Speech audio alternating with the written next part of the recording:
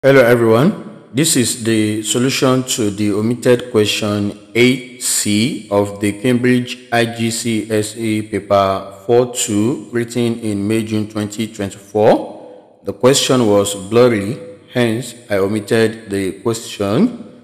I just pasted the part C on this page. Kindly check the description section below the previous videos. There is a new link to download the new past paper.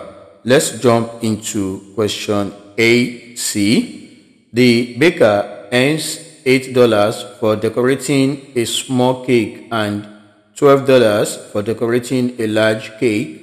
Use your diagram to find the largest amount the baker can earn in one day by decorating cakes. So let's go back to the previous page. So uh, this was my solution to Question 8a. We were given this information and we were asked to write the remaining inequalities, that is the three other inequalities. And after that, we were asked to um, draw these inequalities, okay, on the grid. And we are asked to mark the uh, region R, so which is this.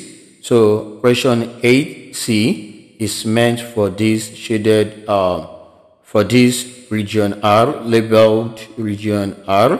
So what we need to do is very simple. From here, we need to get the maximum value of X. Don't forget that $8 is meant for X and $12 is meant for Y.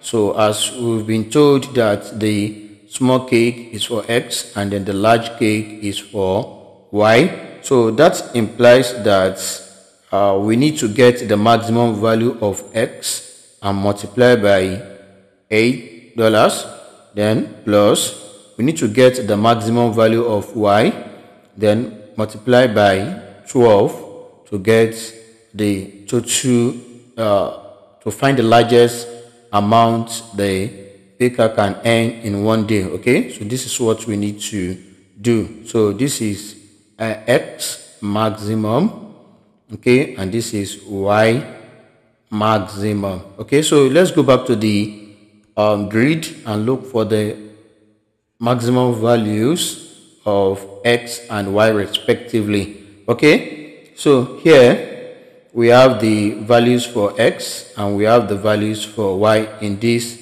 labeled region R, okay? So the maximum value of X should be on this line, that is 16. So let's say this point here, okay? So this point, okay, because uh, this point is part of the solution. Anywhere we have a broken line is not part of the solution, okay? So, but if you look at the value of, um, okay, this is one um, point, then another point is this, okay so that is uh, x equals to 15 okay? So between this and this now so which one should uh, which one should we uh, pick okay? So if you look at this the value of x here is 16 but y is equals to 8 so um, if you look at the other one the value of x is equals to 15 okay? So and the value of y equals to 9 Okay, so this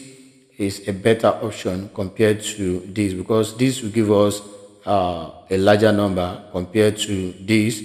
Okay, so if you go back to this page now, so let's say uh, the maximum value of x is uh, 15. Okay, then the maximum value of y is 9. So if you input this into your calculator, we have 15 into 8 so you can open a bracket here. 15 sorry 15 into 8 okay then add another bracket that is 9 times 12 9 times 12 so that will be the second one. So if you hit enter so we'll get 2 to 8 so the maximum will be two two eight that is two hundred and twenty eight dollars okay? So but i would like to show you something. You know we have another point you could take. So let's scroll down a little bit. So if you take the maximum value of x to be 16 so that means the maximum value of y will be 8 so you have 16 against 8 so let me show you what you will get if you take this uh, point.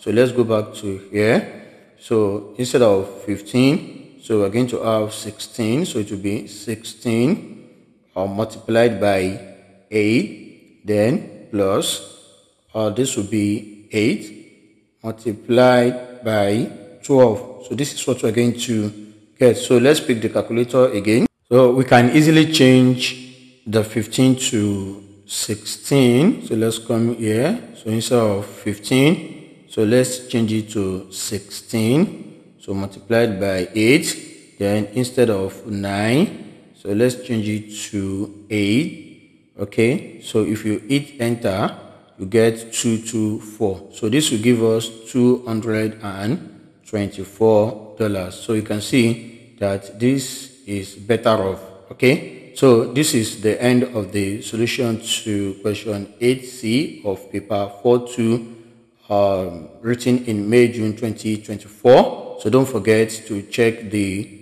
uh, description um, section of the previous videos. So I have updated the link there to download the new past paper. Until we meet again, have your fingers crossed for my next solution to paper 4 3.